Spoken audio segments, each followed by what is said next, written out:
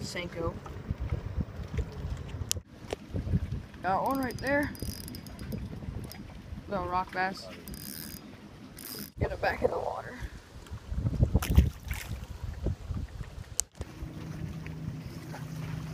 Skip. Come on. Gotta get one here.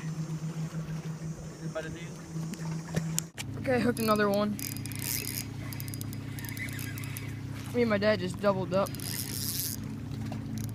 Hey guys, what's up? There's mine. There's my dad's. Goes. Okay, I just hooked another another fish. Seems a little bit bigger.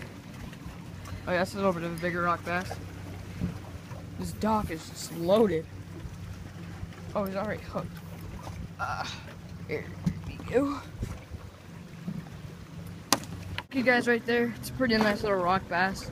Caught him on a 3 inch Senko and a 2 watt uh, finesse wide gap hook by Gamakatsu. It's probably the biggest rock bass of the day. Just caught him under that dock over there. Nice.